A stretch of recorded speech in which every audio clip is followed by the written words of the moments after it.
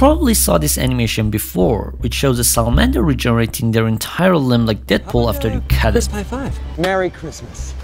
But how we can make it stop? Seriously, I'm not just goofing around, I'm just trying to understand why exactly they can do it but we can't. So I started searching and I found out that not only you can make it stop, but also you can even mess with it, like you can make it double or triple, or you can decrease the regeneration capacity. But right now I'd like to know how we can stop this regeneration, and I want to know if a scar would form after that. Let me explain to you why. There's a long-standing hypothesis that after an injury, there would be a tug of war between the scarring process and regenerative process, and molecular programs that drive scarring in humans win this competition. It means that humans and salamanders have specific genes that can drive both regeneration and scarring, but other features of the adult mammals intervene and suppress their regenerative programs in adulthood.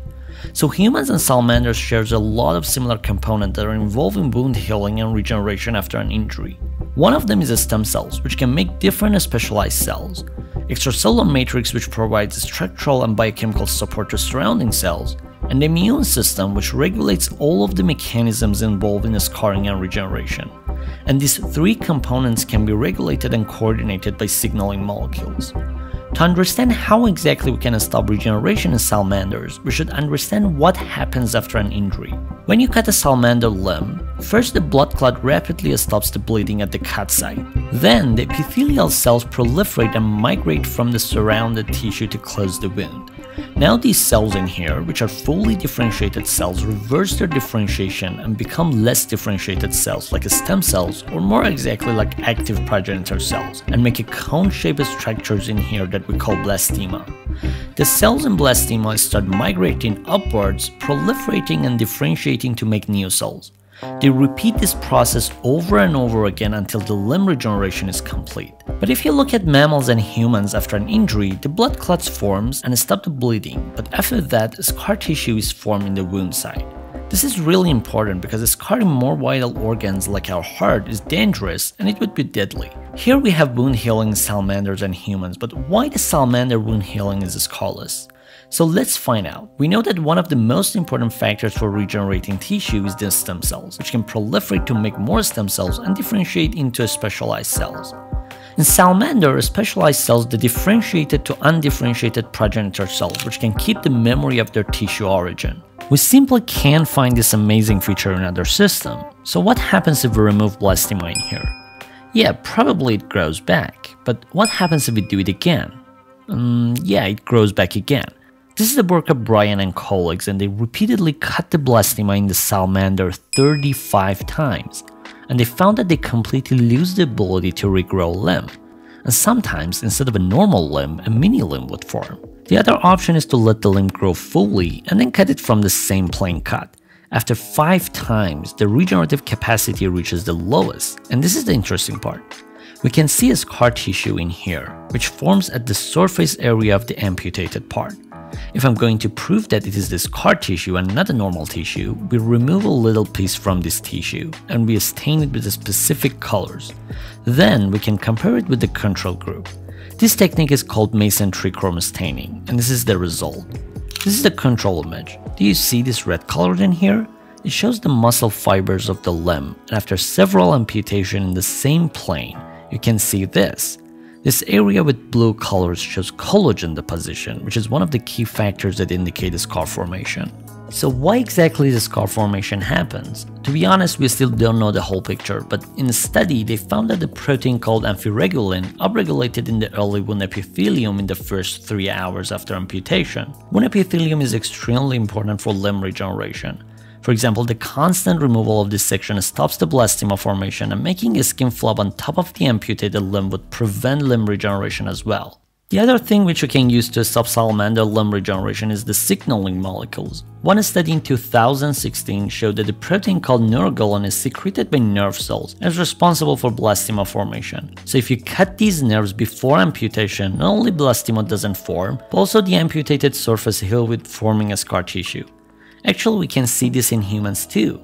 For example, we can see nerve damage in patients with diabetes, which brings them a lot of wound healing complications. In extreme cases, this lead to limb Yeah, We're talking amputation. about foot ulcers. They can have major complications and even lead to amputations. Dr. Brian Belgian, a podiatrist with the GBMC Wound Care and Hyperbaric Medicine Center, says foot ulcers often occur in diabetics because of the loss of sensation in their feet. Okay, we know that blastema formation is one of the most crucial factors for regeneration in salamanders. So does it mean that we cannot regenerate our limbs because we can make blastema? But not all tissues in salamander regenerate with the help of blastema. Actually, it has been shown that salamander heart regeneration is related to the proliferation of specific cardiac cells called cardiomyocytes. So we can say since our cardiomyocytes proliferation is not that good, we can regenerate our heart. But is it really the case? I mean, yeah, our cardiomyocytes doing good at proliferation, but look at this paper by Godwin and colleagues. They used liquid nitrogen to induce tissue damage on the ventricle wall of the salamander heart, and they watched the injured heart is regenerated after 60 to 90 days. But this is their control group. They removed the famous immune cells called macrophages from the salamander before the injury, but salamander couldn't regenerate the heart without macrophages. Actually, they did the same experiment for limb regeneration as well, and even with the presence of blastema, the limb didn't regenerate. So this is the mesenteric staining of the heart 25 days after the injury. But after 90 days, you can see the collagen deposition here. Okay, the first things that comes to mind is that probably the lack of macrophages somehow stops the proliferation of cardiomyocytes. So it is reasonable to do a proliferation test, but they didn't see any difference in the proliferation of cardiomyocytes with or without macrophages. So what changed in the salamander without macrophages after the injury? To understand this, first you need to understand that in humans and mammals after an injury, coagulation happens, in which platelets with the help of some proteins make a blood clot. That's called provisional extracellular matrix. This is rich in fibrin and fibronectin proteins. Also, it's full of different growth factors and cytokines. After that, specific cells called fibroblasts produce another type of extracellular matrix with different components compared to provisional extracellular matrix, which we call transitional ECM. It is composed of fibronectin, collagen type 1 and type 3. Finally, this extracellular matrix is remodeled over time to scar tissue. So how exactly extracellular matrix could be dynamic and the components could change through time? There are enzymes called matrix metalloproteinase that can degrade specific proteins in the extracellular matrix.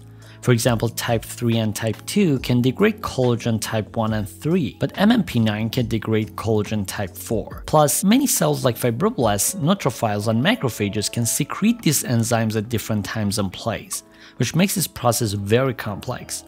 We have the same things in axolotl systems, but there are a lot of differences between the extracellular matrix in axolotl compared to humans. For example, in contrast to humans, the axolotl transitional matrix is rich in a protein called tenascin C. Now in our heart defect, we can check for these variables. For doing this, we can use a test called IHC, in which we use an antibody specific for tenascin C with a fluorescent tag, so we can understand the distribution of this protein in our sample.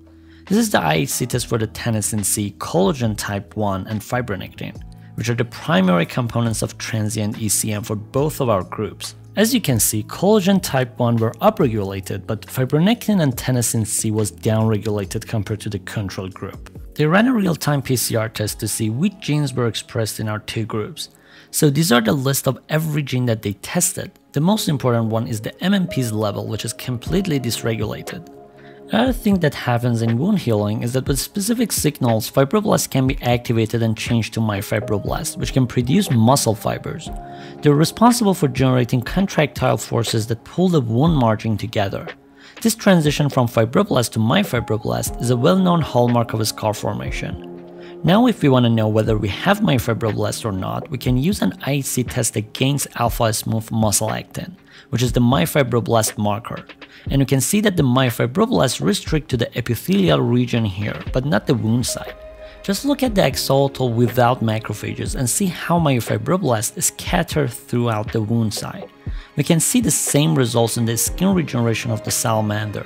The study by Seifert and colleagues showed a higher number of the myofibroblasts in the margin of the wound in mice, but they did not observe any of these cells in the margin of the wound or the wound site in axolotl. The process of regeneration and scarring is very complex and tightly regulated, and we should investigate many different aspects of wound healing to reach a proper treatment target.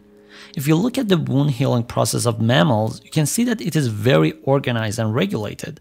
And after an injury, we can see different stages happens like this in human. But a few differences can change the whole results. So I think it's enough for this video and thank you for watching.